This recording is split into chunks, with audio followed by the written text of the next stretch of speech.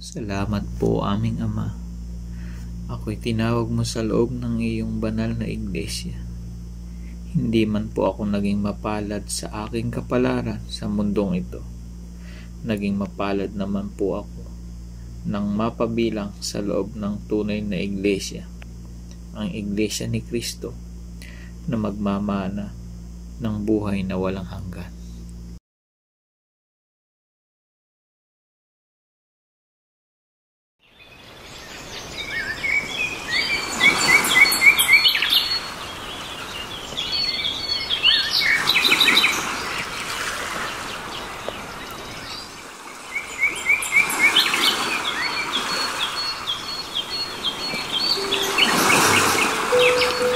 Po si Emilson Padua Balmores. Nakatala sa lokal ng Agrabia 1 at nabautismohan noong July 30, 2017.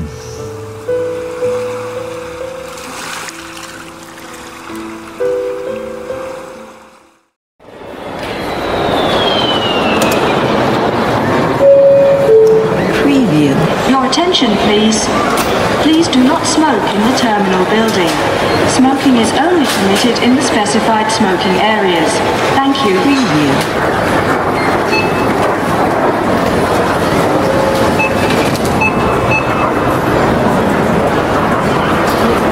Preview. Amtrak again ladies and ka sa paghahanap buhay mo sa ibang bansa, ha? Alam kong hindi madaling iwan mo ang iyong pamilya at mawalay din sila sa piling mo. May mga sandali na makakaramdam ka ng lungkot at pangangilila. Subalit ang totoong realidad mo sa ibang bansa ay nag-iisa ka lang.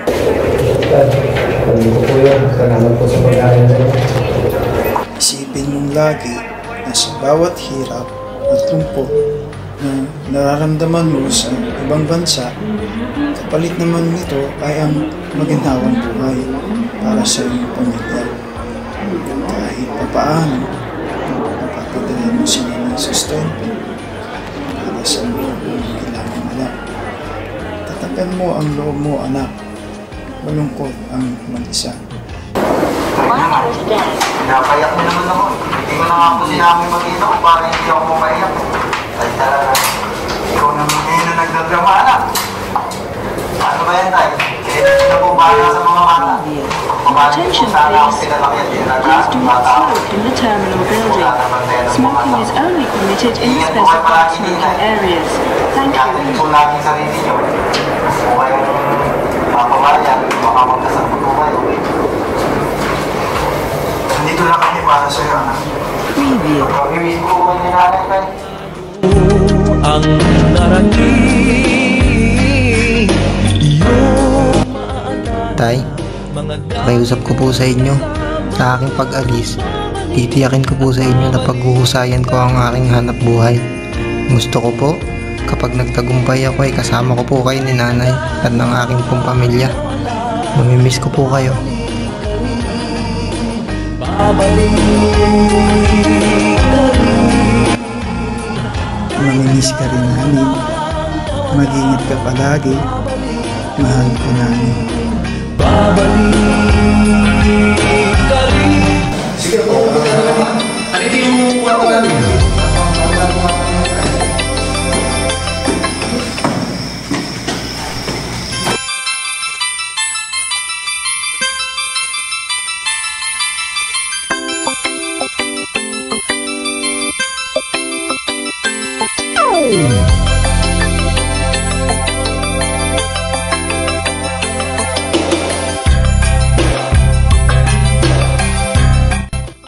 ikinabubuhay ko po sa bansang ito ay ang manggugupit ng buhok sa isang kilalang mall.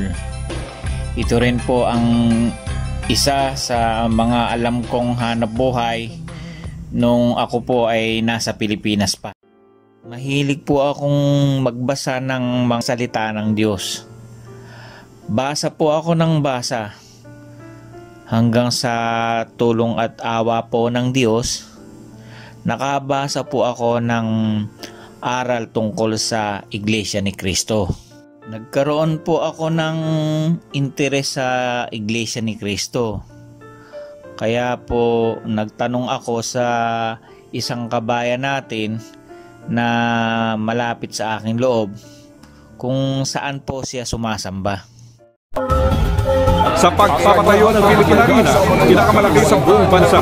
Pero ayon sa isang dating ministro ng Iglesia ni Cristo, hindi nararapat ang ganitong uri ng pagninegosyo ng kanilang pamunuan. Ganitong uri ng pagninegosyo ng kanilang pamunuan.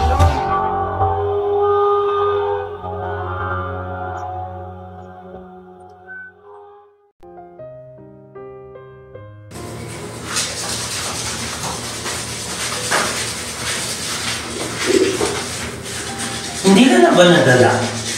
Halos hiwalayan ka na ng asawa mo dahil sa iglesia na yun. Ano kung mapapala mo dyan? Iwan mo na yung iglesia na yan at manunumbalik ang saya ng iyong pamilya gaya ng dati. Tigil mo na yan pagsamba-samba na yan.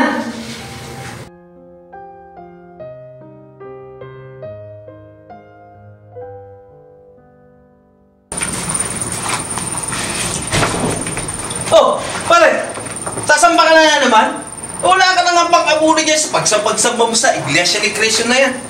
Pahihirapan ka lang yan, mababang walang sa utang. Tsaka di ba, tinatakwil ka na nga ng mga magulang mo dahil sa pag-alig mo sa Iglesia ni Cristo. Umalis ka na dyan. Unang bumangon po sa aking pagsubok nung nagumpisa akong doktrinahan. Noong ipinaalam ko po sa aking asawa, unang-una po siya ay nalungkot dahil magkaiba kami ng relihiyon. Hinimatay po siya sa sama ng loob sa sinabi ko na ito na po ang magiging relihiyon ko hanggang kamatayan.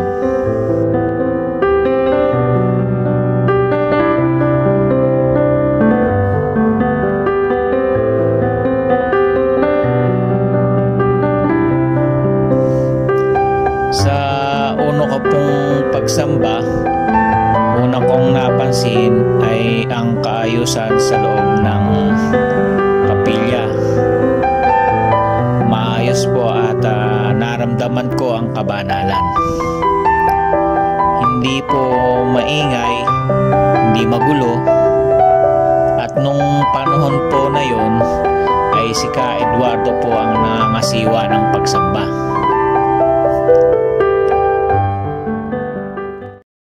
Nagay, ah, nagay. Nagay pare.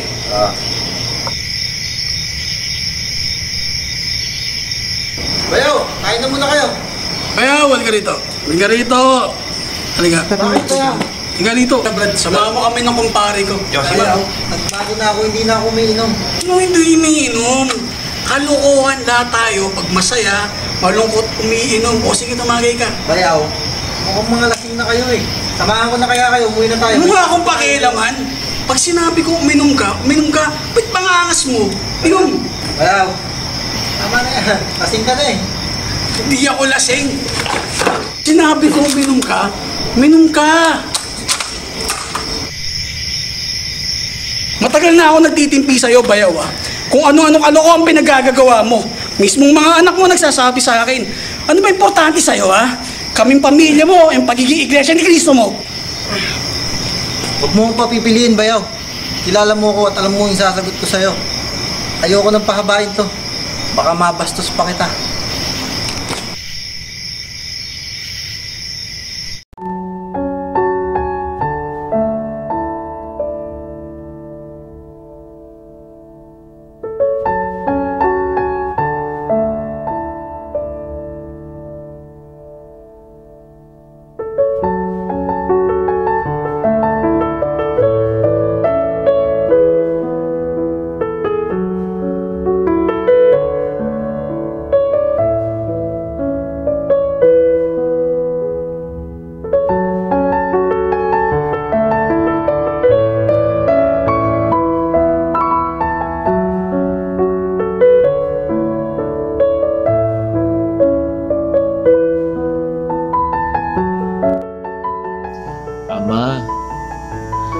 Kaligayahan ko po lamang sa mundo.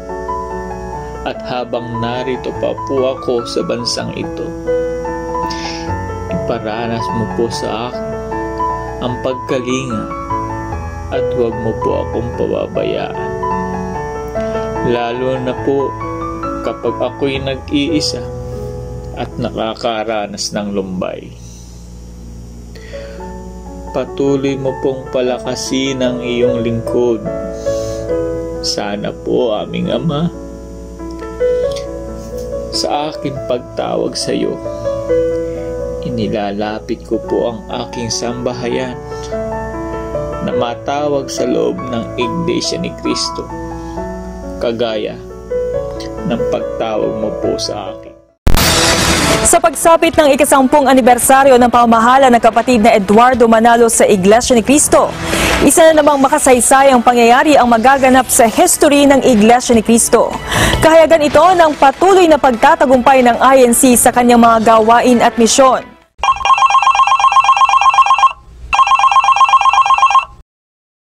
Hello po. Ah, brother, ready ka na ba bukas para sa makasaysayang bautismo? Opo, ready ready na. Excited na nga po ako para bukas. Ah, Brad, pakisigurado lang na yung mga gagamitin mo. ha? Opo, ready ready na po. Huwag po kayong mag-alala. Marami pong salamat. Sa pitin ng sandaling ito'y aming Bro, ready ka na ba bukas? Buong iglesia'y naghintay ang Congratulations, Brad. Congrats, Brad. Congratulations po. At ngayon kami ay narito na Aming mga puso'y wala. Papasalamat po ako sa mga kapatid na sumuporta at matyagang nag-akay sa akin. Lalong-lalo na po ang ka Emil Balmores na nagtyaga at nagsumikap upang ako po ay makapasok sa loob ng kawan. Ito po ang Iglesia ni Cristo. Salamat po. At ngayon Ako po si Ka Emil Balmores, isang masiglang kaanib ng Iglesia ni Cristo. Inusig, nagtyaga, at nakapagbunga ng isang kaluluwa sa tulong at awa ng Ama. Ikinararangal ko po na ako ay Iglesia ni Cristo. Ang luhang ito, luha ng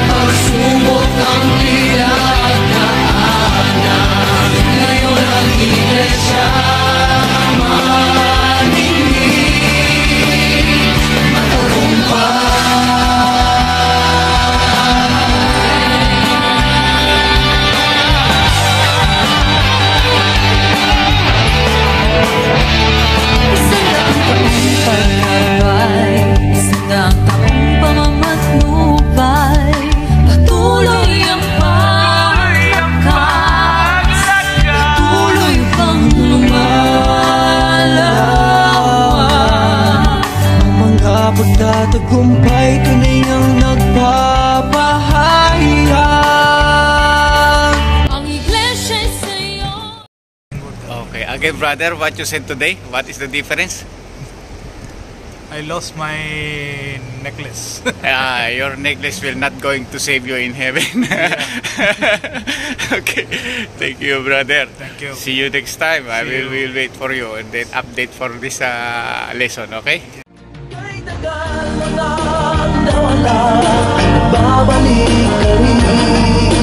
Babalik